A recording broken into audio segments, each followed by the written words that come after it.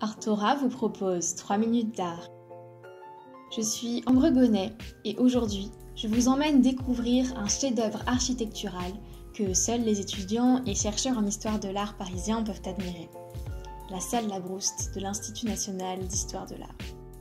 Au milieu du 19e siècle, sous le Second Empire, la Bibliothèque impériale, ancêtre de la Bibliothèque nationale de France, est située dans le second arrondissement de Paris, dans ce que l'on nomme le Carré Richelieu. Constituée d'un ensemble de bâtiments, dont certains tombent en ruine, l'institution a besoin d'un petit coup de jeune pour être à la hauteur de ses collections. Pour rénover l'un des bâtiments, on fait appel à l'architecte Henri Labrouste, l'un des pionniers de l'utilisation du métal en architecture. Il vient à l'époque de terminer son chantier le plus important avant la bibliothèque impériale, la bibliothèque Sainte-Geneviève, en face du Panthéon. Lorsqu'il commence le chantier de la bibliothèque impériale, il fait face à de nombreuses contraintes.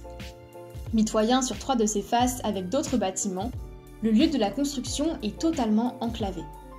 Or, l'un des éléments nécessaires à une bibliothèque est la lumière pour permettre un environnement propice à la lecture.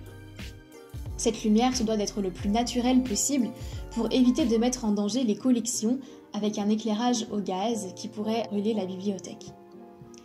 La prise en compte de cette contrainte va l'amener à concevoir un plafond constitué de 9 coupoles vitrées en leur centre afin d'apporter un maximum de lumière.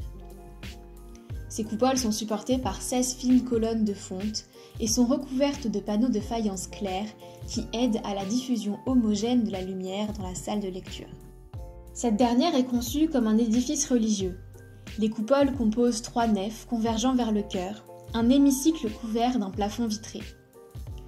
C'est à cet endroit que se situe le bureau des conservateurs, véritable hôtel littéraire permettant d'accéder à la connaissance. Au fond de la salle de lecture, deux cariatides encadrent le passage vers le magasin central.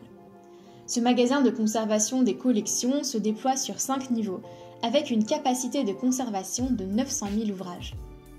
Comme pour la salle de lecture, la brouste dote le magasin d'un éclairage venant du haut, ainsi que de planchers en claire-voie, de façon à ce que la lumière pénètre jusqu'au sous-sol.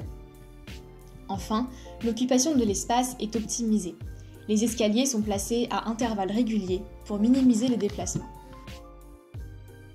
Avec cet ensemble, la Brouste signe son ultime chef-d'œuvre.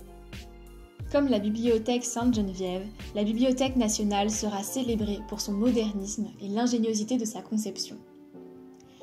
À la suite de la création du nouvel espace de la Bibliothèque nationale de France dans le 13e arrondissement en 1990, la salle Labrousse finira par fermer ses portes en 1998.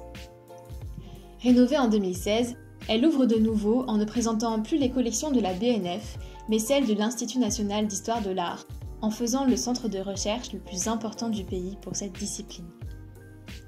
À demain!